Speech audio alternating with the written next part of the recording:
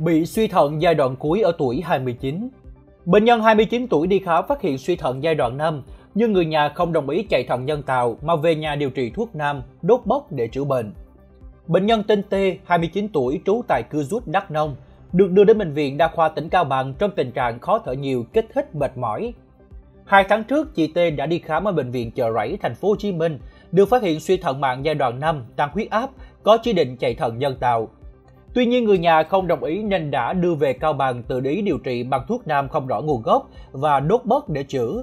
Đốt bớt là phương pháp dân gian điều trị bệnh phổ biến ở đồng bằng miền núi. Theo các bác sĩ, bệnh nhân T bị suy thận ở giai đoạn 5, tức cơ quan này đã suy hoàn toàn.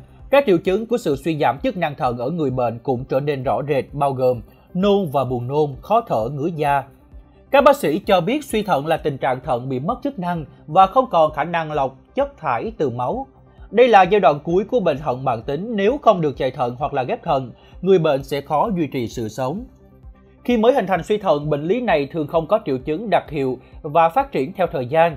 Do đó, rất nhiều trường hợp người bệnh mắc suy thận không được phát hiện sớm và điều trị đúng phác đồ. Điều này dẫn đến việc điều trị ở giai đoạn muộn, xuất hiện nhiều biến chứng nguy hiểm thậm chí có thể dẫn đến tử vong.